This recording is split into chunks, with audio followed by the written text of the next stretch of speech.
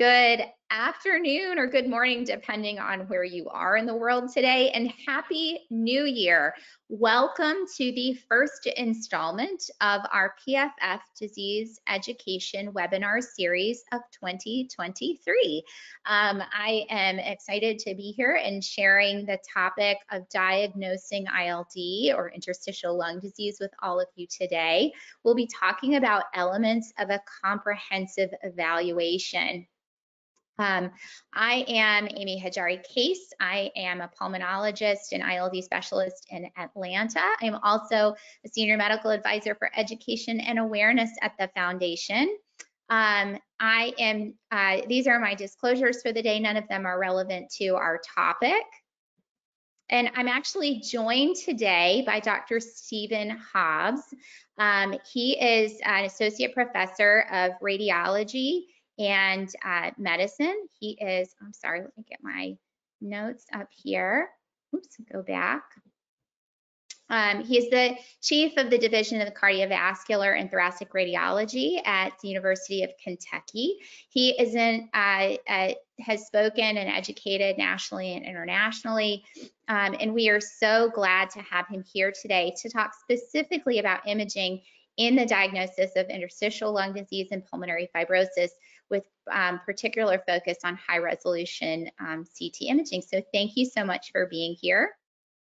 Um, we're gonna get started after just a couple of housekeeping notes. Um, as always, if you haven't attended our webinars before, this is intended to be informational and educational, and we are not able to uh, give specific professional medical advice here. We will have time for questions at the end of our session today, um, but we won't be able to answer specific medical questions about your, um, your individual care. Um, and if you have um, if you have your uh, control panel for, for GoToWebinar to webinar to the right side of your screen or left, I guess it could be. Um, if you'll look there, there is a tab for questions. If you do have questions during the session, uh, throughout, please uh, go there and enter them. We'll try to get to as many as we can. Um, we've left some time at the end of our end of our talk today. Um, we also have a chat uh, bar there where if you are having any technical issues or anything like that, you may um, open up that chat function and type us a message. We will try to adjust or address anything you're having trouble with. Um, and then also, if you are interested in downloading our slides for today's talk, they are under the handouts tab. You'll just drop that down and you can download those in a PDF form uh, while we're on our call uh, on our, our talk today. And of note, this is being recorded and will be posted uh, to our website and our YouTube channel at a later date. So I'll get us started talking about the importance of a comprehensive evaluation for interstitial lung disease. Um, you know, we talk a lot about this um, delays in diagnosis. Um, interstitial lung diseases, pulmonary fibrosis have very non-specific symptoms. Uh, we'll talk about that in just a minute, but they can present in ways that are much like other disease processes that are way more common than ILD and PF. And so um, when doctors are taught, they're taught to, um, if you hear hoofbeats, think horses, not zebras, right? The things that are common are probably what's around. Um, and the things that are less less common go lower down on our, our list of possibilities when we encounter a new problem in it or symptom in a patient.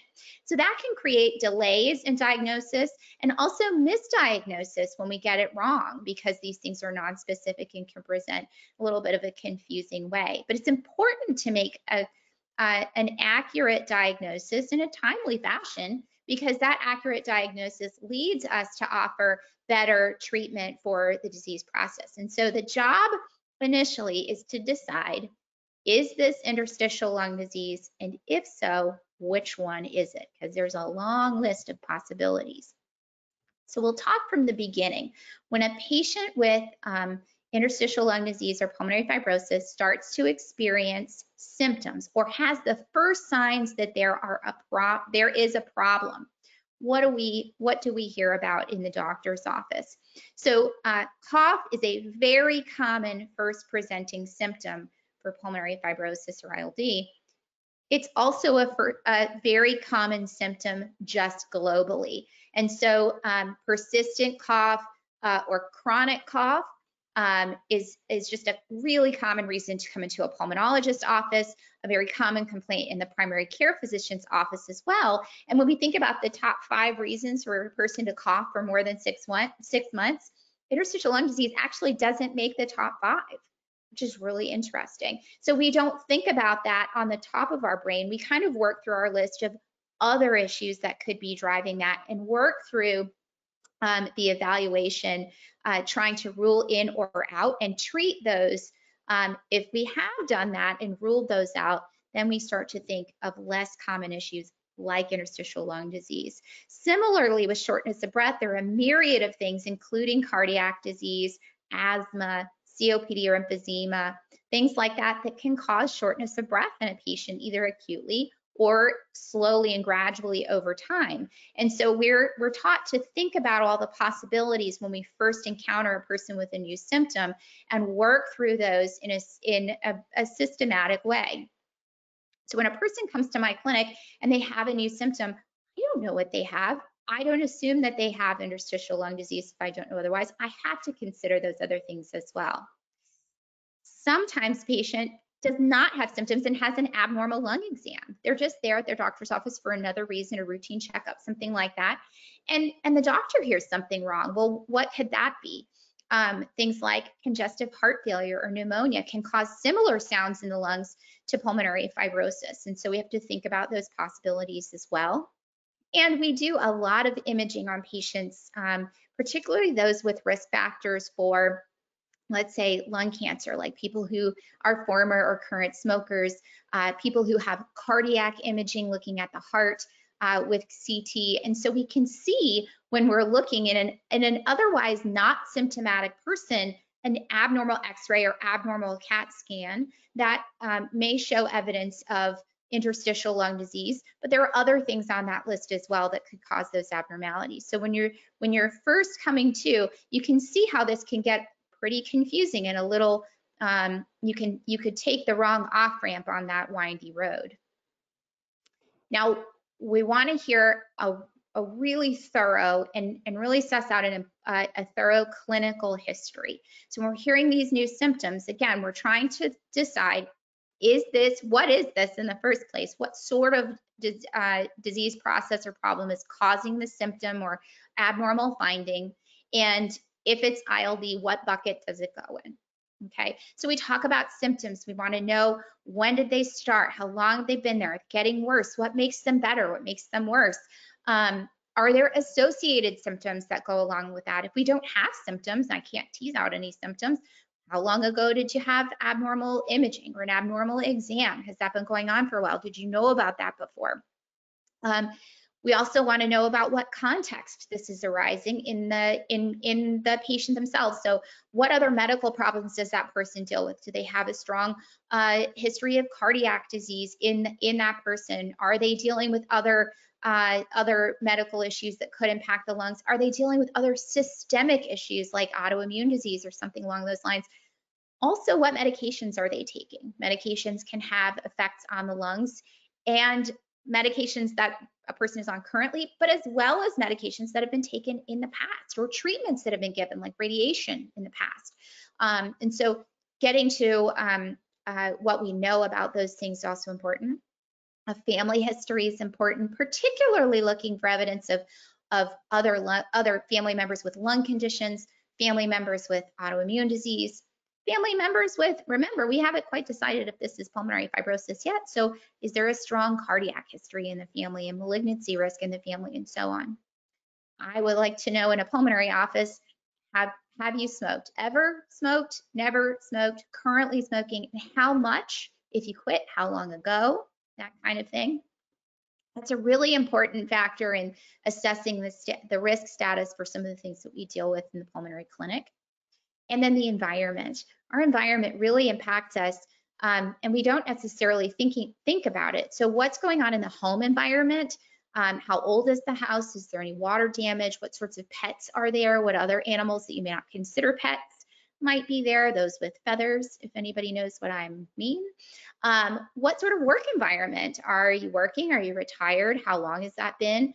And not just what did you do and where did you work, but what were those job responsibilities and what might have been the, uh, the exposures that were involved in that environment. So again, back to the question, when I'm presented with a new symptom or finding, is it ILD? Is it not? But if it is, what bucket am I going to put it in? Now, there are over 200 different specific interstitial lung disease diagnoses that you can look up in a book or, or somewhere on the internet. Um, but it's easier for me to categorize them in smaller buckets, right? So is it exposure related, something in the environment or some medication or treatment?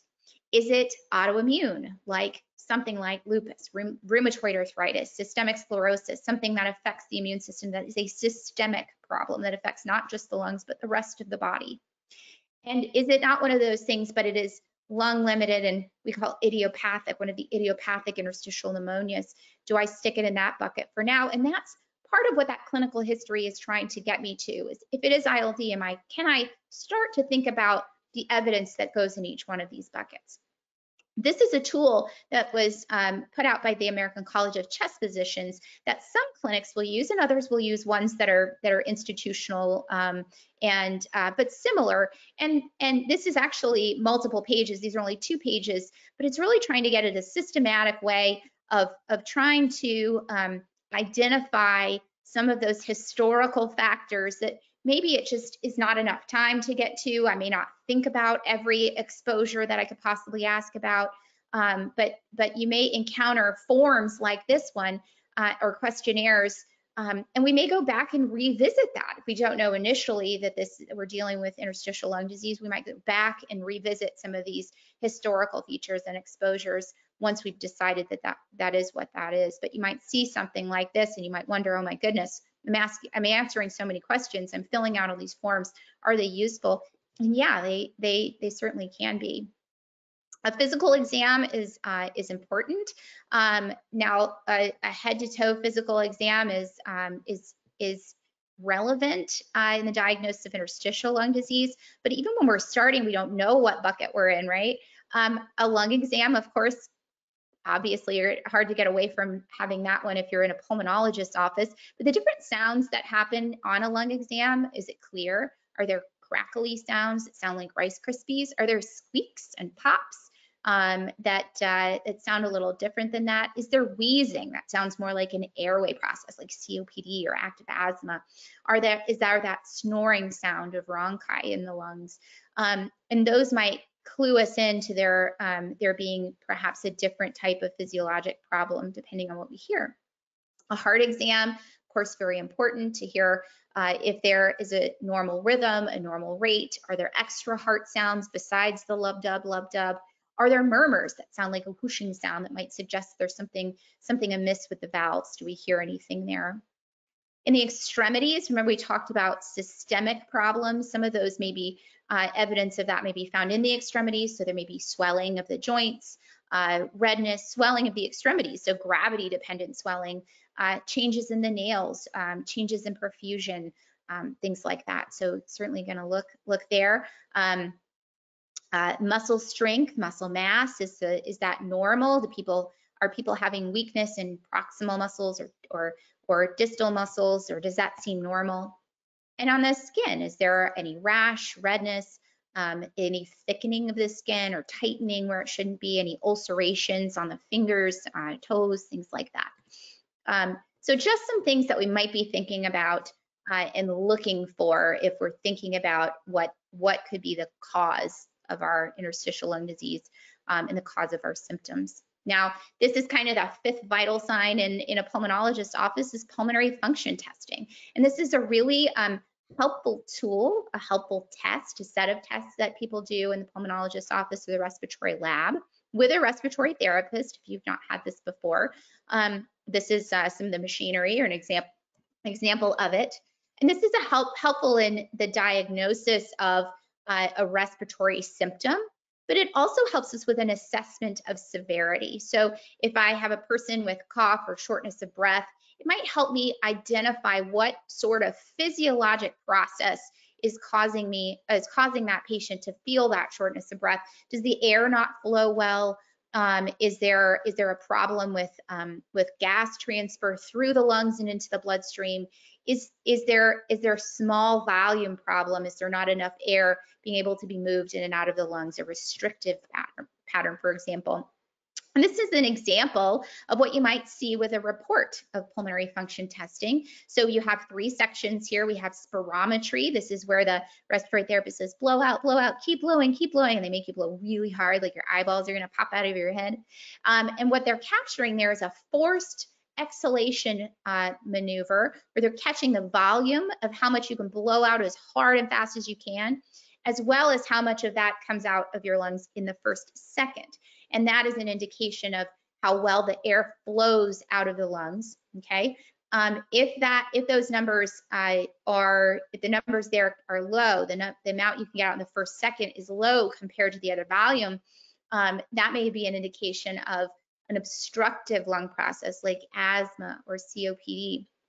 If that is a, if the uh, the amount of air that goes out in the first second is proportional to what um, what's coming out altogether, uh, then that maybe indicates another sort of process. In interstitial lung disease and pulmonary fibrosis, what we see is what we call a restrictive pattern. So the amount of air that goes out uh, altogether may be low. The volume of the air in the lungs, and this can be measured two ways, either with a box where they close the door and you have to breathe against some resistance, or a nitrogen washout process, and that's some technical differences, but they are measuring essentially the same thing in, in a pulmonary fibrosis patient. The volume of air is estimate in, in the total lungs, the total lung capacity will be lower than uh, expected in a patient with, uh, with pulmonary fibrosis that's impacting that.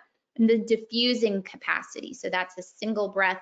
It, it allows us to see what the gas transfer is to get through the lungs and into the bloodstream. And um, in ILD, that tends to be uh, lower than expected.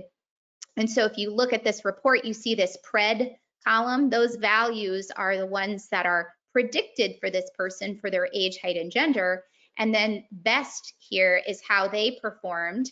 And then percent PRED here is the percentage of how they performed compared to what was expected of them. So that's how you kind of look at that.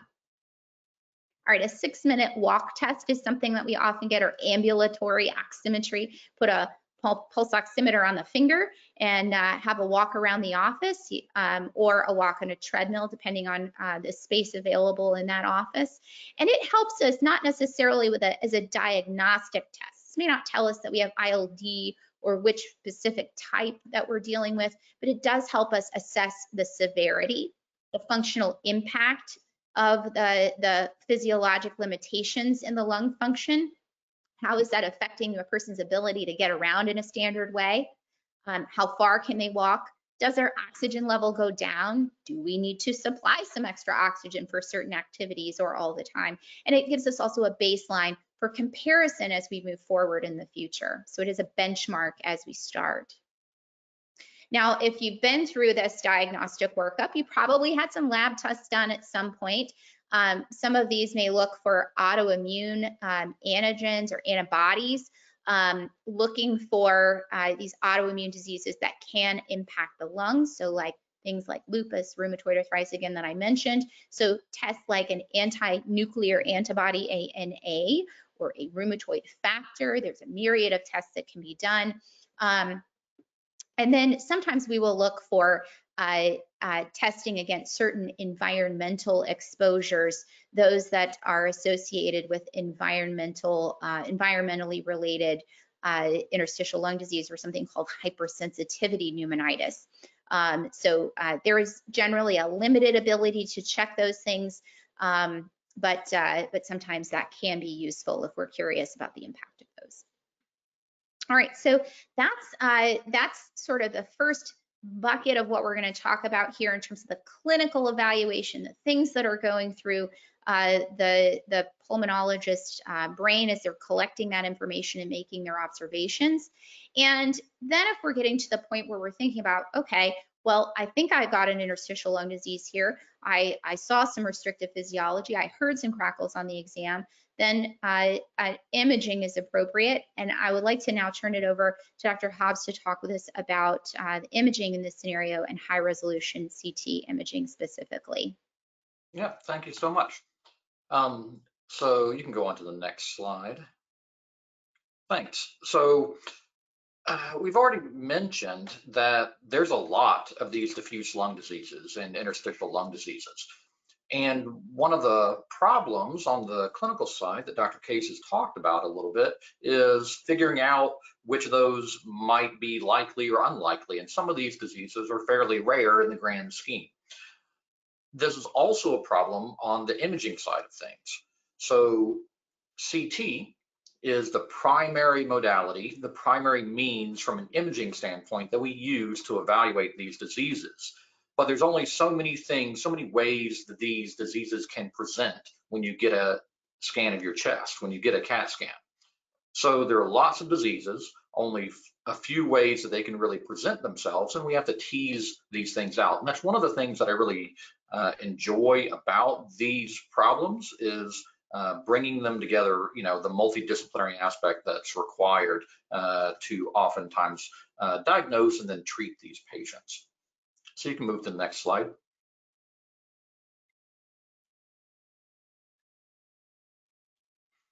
So when we're looking at the radiology specifically, and we'll see a bunch of pictures, my favorite part here in just a moment, um, we're looking at essentially what the findings are on the imaging, right? And that's kind of the overall description. What do the images show?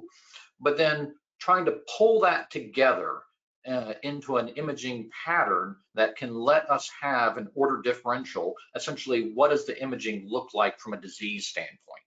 So there's one thing for me to say, oh, there's a nodule but what's the cause of that nodule? What's the likelihood that it's uh, a benign infection or something that might be more serious like a cancer? And then obviously also there's an entire integration that needs to occur. What does the imaging mean for you as an individual patient, right? In the clinical context of what's going on with you, uh, what's happening with cough or your, you know, difficulty uh, walking or any other your clinical symptoms, what's happening, how does that imaging play a part in your uh, diagnosis, and what's that doing over time? So one of the big things for us, you can move to the next slide again, is getting a good quality HRCT, a high resolution CT. And if you have a scan like this, it's very difficult to tell, is there something wrong in the lungs or not? There's a lot of motion here, and this can be a challenge for a lot of patients if we're asking them to come in and get a scan and they uh, have difficulty holding their breath because you have a disease that's affecting your lungs. Uh, it can be hard sometimes, but it is important. So you can move to the next slide as well. So that technique and how we acquire these images helps us a lot, especially with these diffuse lung diseases. They need to be relatively thin section and how you breathe matters. So if you were to come in and get a CAT scan of your lungs, we're probably gonna ask you to take a full inspiration, take a deep breath and hold it, and then let us take all of our pictures. We'll also probably have you breathe all the way out and hold that and then take more pictures because that gives us additional imaging, uh, additional information as well.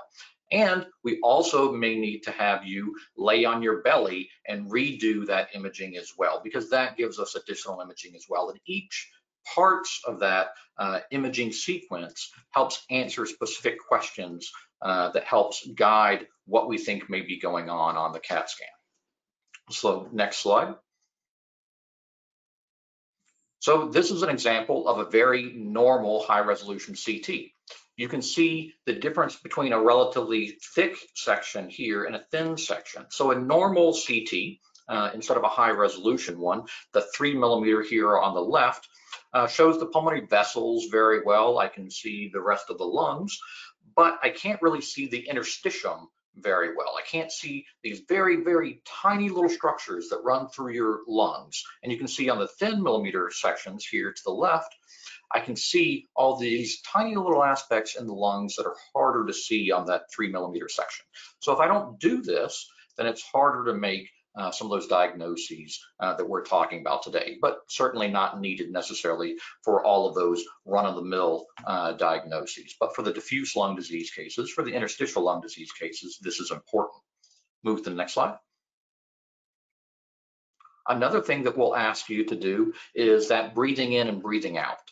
So here, this CAT scan looks very different than the one that we just presented. All of the lungs should look relatively dark, and there's all this, uh, we call it opacity, all this gray inside the lung that should normally be aerated. And so the question is, is this normal or is there something going on here? You can click next. And here, higher up in the lungs, this is a slightly higher level, the dark uh, in the middle here is actually your trachea, that's your airway. And we can see from that, the way it's shaped in this, that you're actually breathing out when this CAT scan was taken. So we can tell from this, you can move to the next slide, that if you're breathing out, it makes a big difference in how your lungs look. So this is the same patient. The one on the left is them taking a breath and all the way out. So taking a deep breath in and then blowing it all the way out. And that's what your lungs look like in a normal patient. And then if you take a deep breath in and hold it, that's what it looks like on the right. So that's why following those breathing instructions matters a lot for our ability to uh, tell you what's actually going on on the imaging. So next slide. So we look specifically on those expiratory CTs to see what we uh, refer to as air trapping. Now, uh, you can see a few examples where these areas of darkness, these small little rounded areas of darkness show up. Everybody has some mild degree of air trapping here, but if it's a very common feature on your particular scan, then that uh, makes it much easier to uh, uh, diagnose certain conditions that have more of this. And that's why we're asking you to breathe out to see. Next slide. And then here is another example. In the dependent lungs down here, again, it should look all dark. All of that dark area uh, here on the scan should look the same but more posteriorly towards the lower end of the image, you can see some ground glass opacities, a, a, terminology we use for some of that gray area. The lungs don't look all the same. We want to know, is that an interstitial lung disease or is it normal? So you can click the next slide. And here we see if we put somebody prone and lay them on their belly, all of that goes away because the lung really is made up of a lot of air and your the weight of your body will push your lung down and actually make it look different than if it was uh, uh, fully inflated. So this technique we use to answer some of those questions. And that's why we'll probably ask you to lay on your belly if you can, uh, especially for some of these diffuse lung diseases. So you can move to the next one.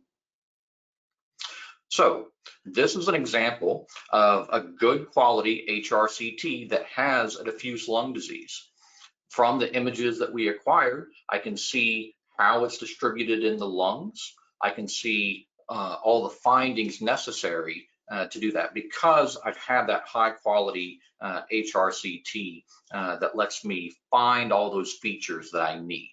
The patient here did a really great job holding their breath and following all those breathing instructions. So next line. So when we're looking at these, lucky for me, uh, we've made a lot of progress, uh, especially over the last 10 to 15 years, in categorizing these diffuse lung diseases on imaging. And there are several uh, guideline papers that we use uh, to help uh, put these cases into buckets, essentially. Uh, and those buckets correspond with the likelihood of you having certain a certain disease. A lot of it is around idiopathic pulmonary fibrosis, um, but then some other disease processes are in there as well. So next slide. So all of these guideline papers uh, correlate under these four different uh, disease categories. That is what we refer to as a definite UIP pattern, a probable pattern, an indeterminate pattern, or an alternative diagnosis type pattern. So UIP here stands for usual interstitial pneumonia. And that's basically an imaging or a pathologic diagnosis, right? It's not your underlying disease process, um, but it's what we would see if we were to biopsy these patients or what we can see uh, on imaging. So the point here is not to, uh, you know, understand exactly what all of these uh, uh, terms mean, but if you're reading your imaging report, realize that these are the types of words that are going to show up on those reports. And these are the types of categories we're going to be trying to put your case into probably to guide therapy and uh, see what the diagnosis may be. So we can go through and show some different examples of these too. So next slide. So here is what we refer to as a definite UIP pattern. This means that if you were to biopsy these, this patient, uh, do an actual open lung biopsy, uh, chances are that pathology would show a UIP pattern. And in the right clinical context, that means that it's probably going to turn out to be idiopathic pulmonary fibrosis. And that helps us guide that therapy. Again, a high quality HRCT here lets me understand the distribution of these findings, how it is in the lungs, and find all those key words that I need uh, to be able to say, yes, this looks uh, like a classic case of this disease process.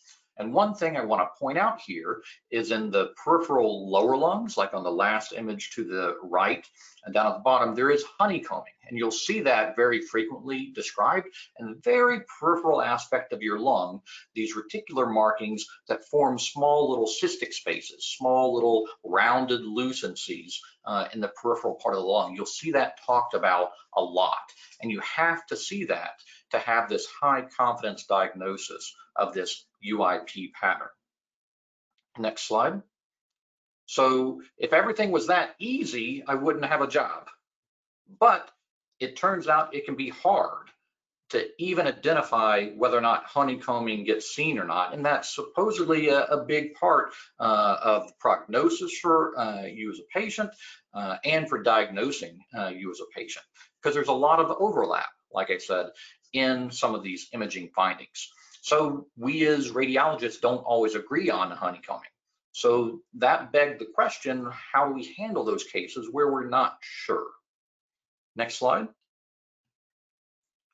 And lucky for us, people have done a lot of work over this over the last uh, few years and really discovered that if you have all of those same features, that same pattern of disease in the definite UIP pattern, but you just don't have honeycombing, then you still have a high likelihood of having a UIP pattern if you were to biopsy those patients.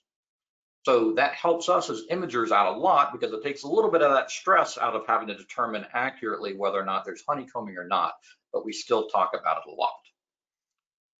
Still, there are challenges. This was a paper uh, that I like uh, because it essentially uh, mimics real life. It took a bunch of patients who had interstitial lung diseases from a variety of causes and just asked some expert thoracic radiologists, what do you think it is? And how confident are you that that's what it is? So you can move to the next question, next uh, slide.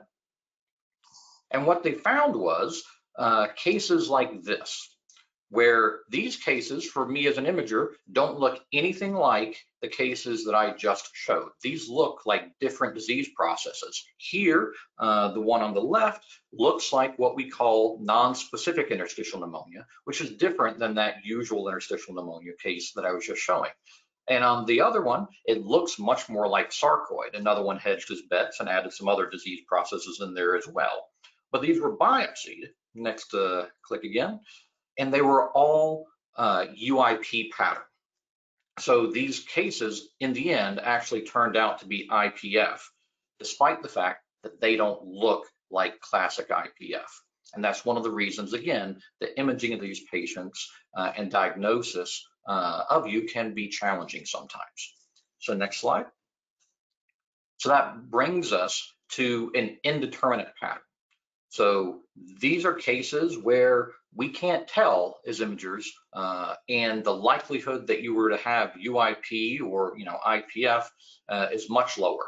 right? A lot of these will require biopsy for uh, a final diagnosis, uh, or certainly like a multidisciplinary discussion where uh, I, as an imager, I'm talking with uh, the pathologists and the pulmonologists, et cetera.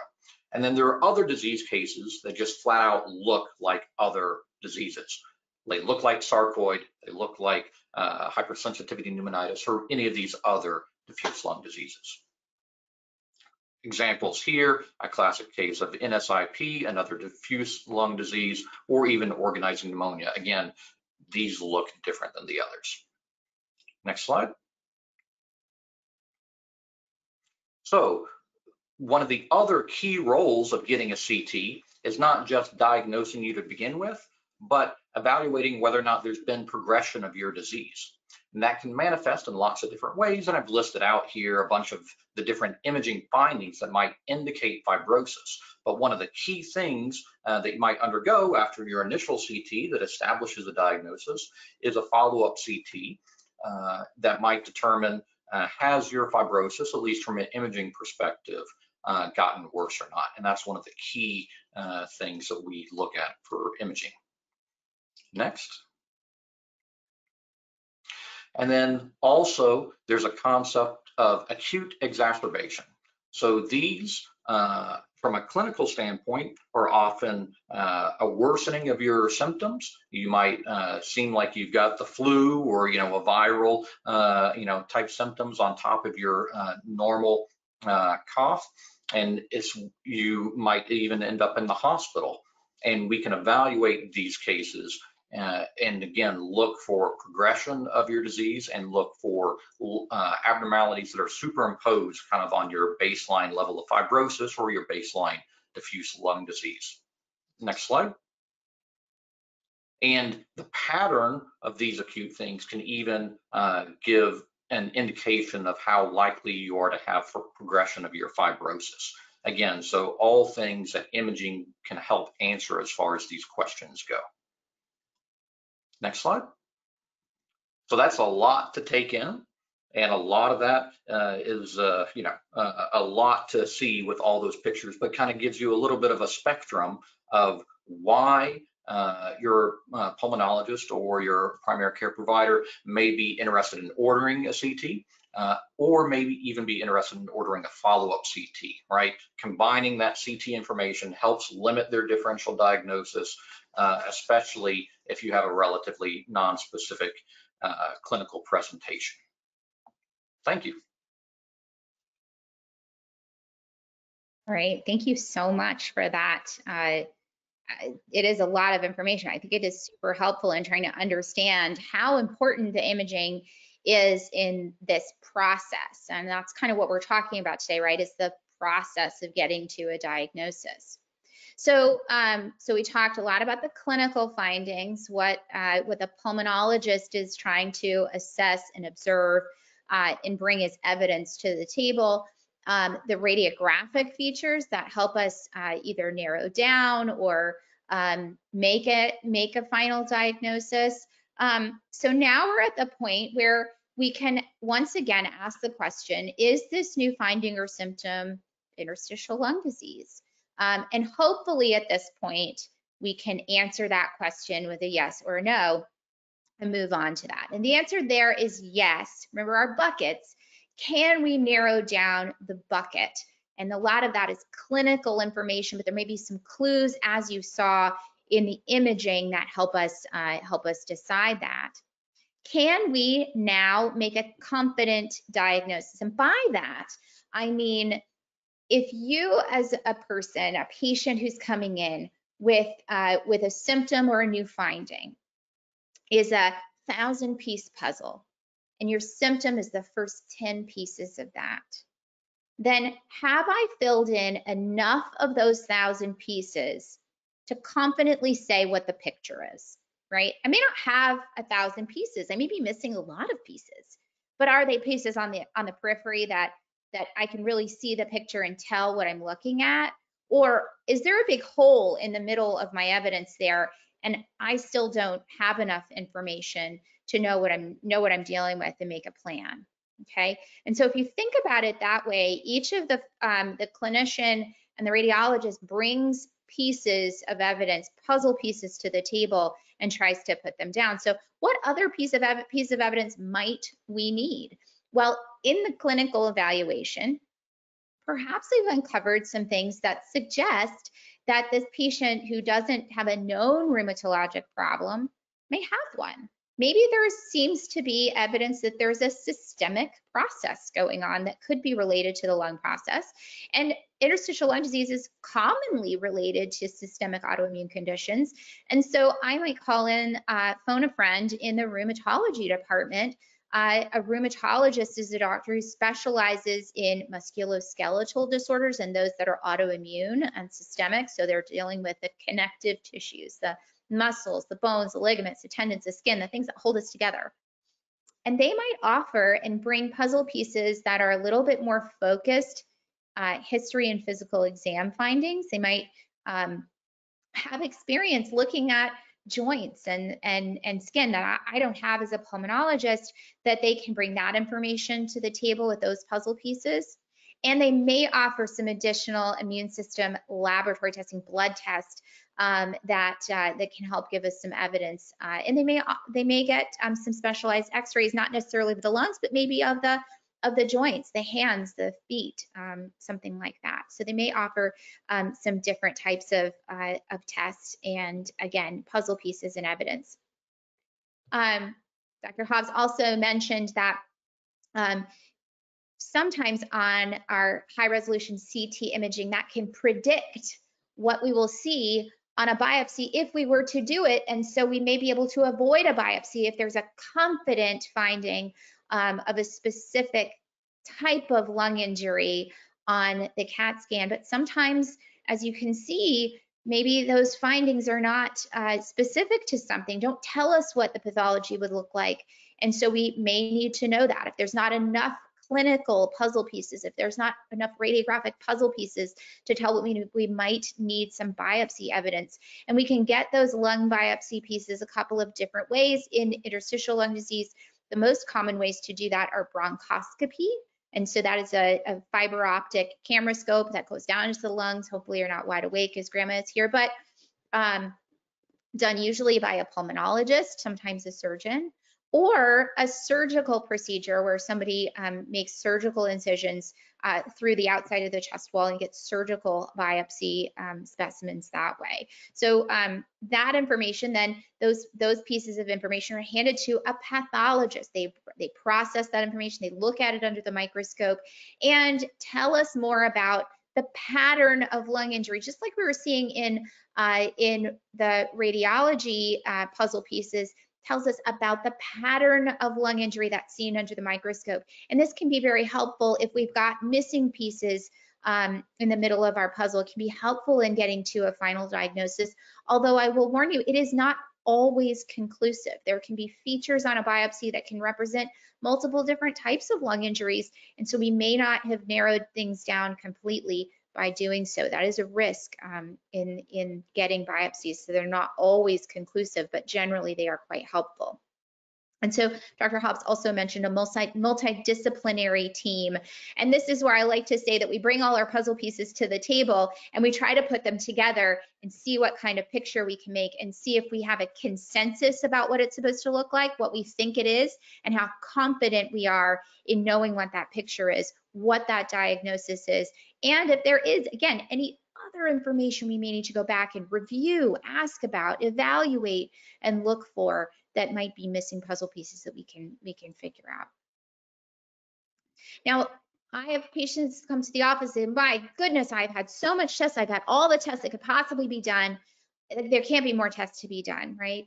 Well, we do more tests uh, as we move forward. Even after making a diagnosis, there may be other things that need to be evaluated, particularly as you're moving forward to assess for progress and progression uh, moving forward? Is the disease getting worse over time? Is it staying stable? Uh, what is the impact of the treatment that we're having? Um, and so pulmonary function testing, remember we had a baseline, over time can help us assess response to therapy, progression of disease, and so on. And so those very helpful. Repeating uh, uh, walk tests and tests of oxygenation, and sometimes repeating those images can be helpful in assessing, again, response and, and progression. So we, we do see those again over time. They come back, and it's not just a one and done usually. Like, and also, you know, there are other conditions comorbidities, we call them, that are frequently associated with interstitial lung disease. I'm just giving you a couple here, and that's gastroesophageal reflux, pulmonary hypertension, or sleep apnea that might require additional testing that uh, to try and diagnose those and manage them appropriately. And so there may be additional imaging tests, a sleep study if that's appropriate, seeing other uh, other consultants to help manage those problems if they're um, if they're present and uh, and and the pulmonologist needs assistance with those and then for those patients who go forward with lung transplant evaluation i mean that's a that's a, a lot of testing that goes on to make sure that that patient is an appropriate candidate for transplant and uh, and and understand how safely to move forward if that's the way to go. So uh, so there may be additional evaluations that that are appropriate and need to be done in the future. So just to wrap this up, I do want to have um, some time. We've got some great questions coming in, and if there uh, if there are others, please drop those in the question box. But just to summarize, you know, we really focused in in uh, the area of ILD in timely and accurate diagnosis, and there are certainly challenges to those. Um, but but really top of mind is determining if this if the problem is interstitial lung disease or pulmonary fibrosis, and if it is trying to get the most accurate specific diagnosis possible to, to treat the patient in the best way possible as well. And then the multidisciplinary evaluation. You see, uh, as a pulmonologist, I can't do this all on my own. The radiologist is, is very important in interpreting those pieces of the puzzle and helping us understand and and and fill in the gaps in in that diagnosis. And sometimes we also need our surgical colleagues, uh, pathologists, other specialties like rheumatology to help uh, to help really put that complex picture together. So um, I am going to ask Dr. Hobbs to, to flip back on for us here. And we've got some great questions coming in. Um, I will, I'm just going to flip through some of these, so y'all bear with me. Um, this is actually a great question for you, um, Stephen. This is, how much radiation is a patient exposed to with a high resolution CT scan? Um, so the, the answer depends on how many times we actually scan your chest. Um, so e you get radiation essentially each time uh, we ask you to take a breath and hold it, uh, or if we ask you to uh, lay on your belly and then rescan, that would be more radiation as well. Uh, that being said, most uh, modern day scanners, which are in use pretty much everywhere at this point, um, have really done a great job of reducing the amount of radiation. Um, and honestly, uh, it should not really be a primary concern right? If you need to have the scan of your chest uh, to answer these questions, um, then I would not let the worry of that radiation uh, be a factor in that decision. Uh, most scans now take that into a, a account. Uh, we do the imaging that we need to to answer those questions, and the scanners themselves have a lot of built-in mechanisms to minimize that amount of radiation. That's great, thank you. Um, so I will take this one. Um, question when a doctor hears crackles in the lungs during a physical exam, is that a pretty good indication that pulmonary fibrosis is present? Um, I do think that that uh, that sound is one that narrows your sort of list of possibilities, um, but it doesn't narrow it to one, to just pulmonary fibrosis. Um, uh, congestive heart failure with uh, with pulmonary edema or fluid in the lung tissue can cause a very similar type sound in the lungs. Um, and and and you know, unfortunately, congestive heart failure is a very common problem that that um, people have. Um, so, so that's another thing that goes on my list. Um, depending on the clinical situation, certain types of infections, acute bacterial pneumonia can cause a crackly sound in the lungs, um, and other types of, uh, so let's say um, fluid in the lungs, pulmonary edema that maybe not uh, related to, con to, congestive heart failure in the acutely ill patient, for example, can also cause um, crackles. This is a short list of things that I'm thinking about when I hear that, but um, but certainly um, crackles on a lung exam, or when we say crackles, that sound to me sounds like if you got long hair like I do, you can take your hair and like rub it right next to your ear. I think it sounds a little bit like that, but also like if you put um, your ear over a bowl of Rice Krispies and and um, milk, it makes kind of that sound. It's truly a crackly sound. When you hear that in inspiration, uh, it, you know, pulmonary fibrosis or interstitial lung disease of some kind goes up high, much higher on my list, and I want to think about that while I'm thinking about um, kind of all the other all the other possibilities. Um, I, Dr. Hobbs, I'm going to get your help with this question. Um, is because uh, this is something you talked quite a bit about is is all UIP or usual interstitial pneumonia IPF, idiopathic pulmonary fibrosis? Yeah, uh, that would be nice, but but it is not, right? Um, and so I think uh, we as imagers uh, identify that pattern, uh, which pathologists do as well. Uh, but even that pattern overlaps with other disease processes. Um, and so you can have a clinical diagnosis uh, of absolutely something that's not idiopathic pulmonary fibrosis, um, uh, even if you have a UIP pattern on your imaging. Um, so it can absolutely be seen uh, in other disease processes uh, connective tissue disease related ILD, for example, is not an uncommon one. Uh, sometimes uh, reactions to uh, uh, medications, drug toxicity can cause that type of a pattern. And inhalational injuries like hypersensitivity pneumonitis can also present with that pattern sometimes too. Um, so rarely is, you know, am I as a radiologist being that definitive. Uh, and I don't generally diagnose in that sense idiopathic pulmonary fibrosis. I diagnose the pattern of disease, and then it's up to uh, our clinical colleagues and us in a multidisciplinary fashion to bring all of that together with all of the other, you know, clinical context and laboratory testing and PFTs and all the rest of it uh, to come to a final diagnosis a lot of times.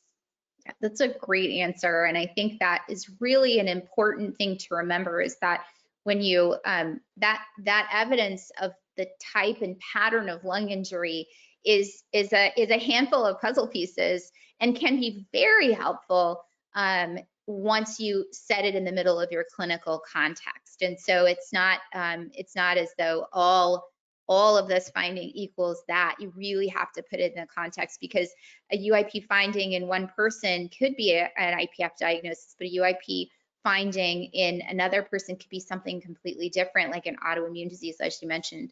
Um, I have a question here. Um, let me see. Are there oh are there more autoimmune diseases? I kept saying the same same ones over and over again, and I'm sorry about that, but uh, I did not give, a, give an exhaustive list. So only two autoimmune diseases that can affect the lungs. Uh, no, there are there are many, and um, on our on our kind of top of mind short list, and I'm probably going to miss some here, so don't quote me, but uh, I always say rheumatoid arthritis and and uh, systemic sclerosis and lupus and uh, in Sjogren's syndrome and um, and uh, mixed connective tissue disease and some of the myositis, uh, inflammatory myopathy, so polymyositis, dermatomyositis.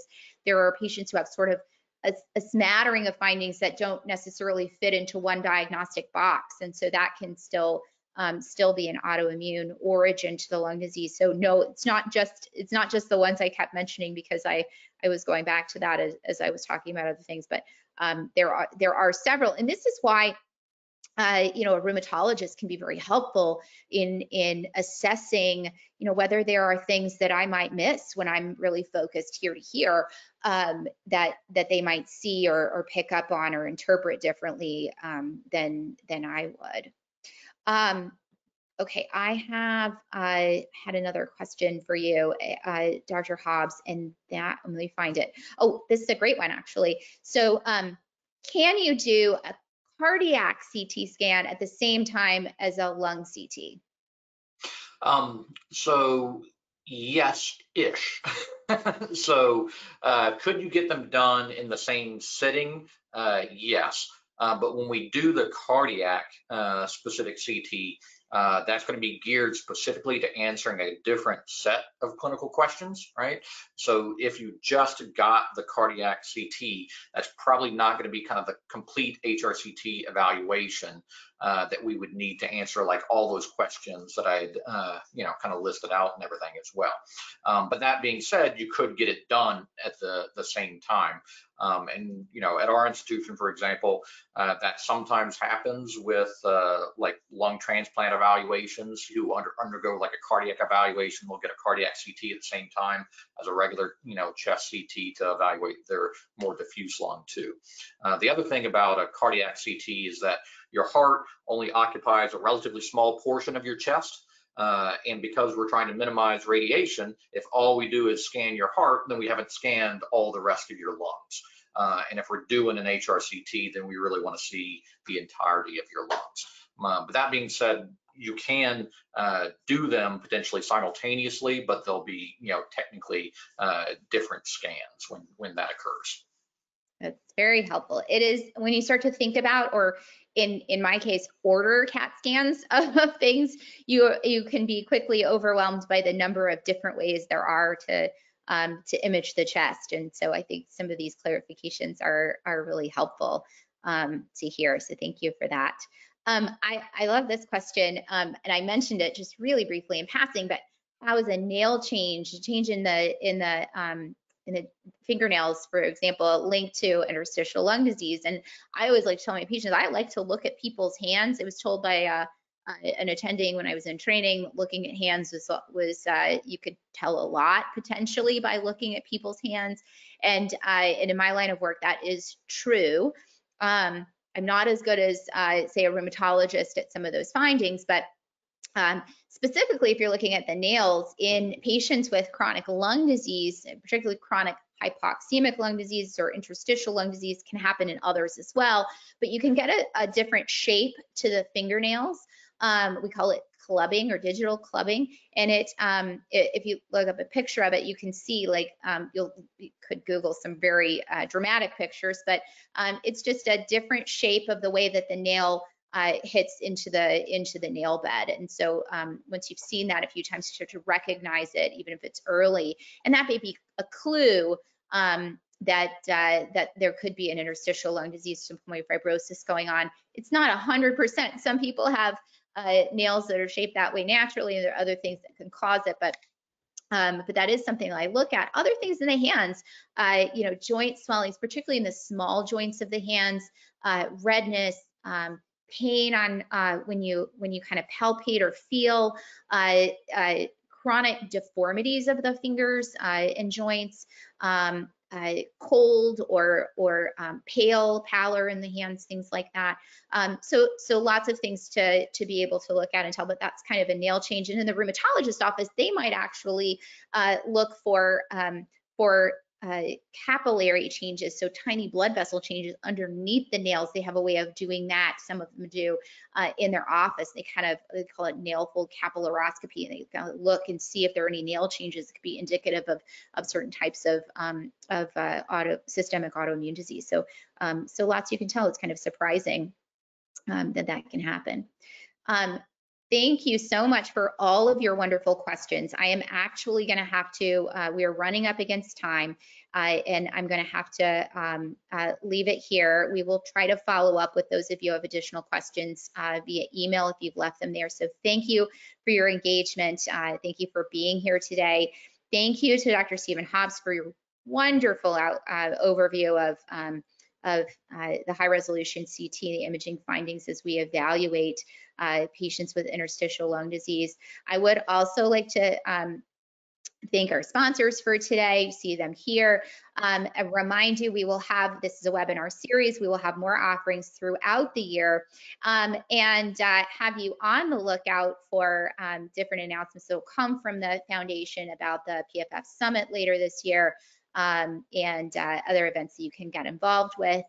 Um, if you would, if you're still listening, and you would uh, be able to stay on after the end of our um, of our webinar today, we will offer an opportunity for some feedback um, immediately thereafter, and this will help us um, gauge how we're doing, how we're meeting your needs, and if there are other ideas for webinars moving forward. We really appreciate your feedback. And again, thank you for being here today.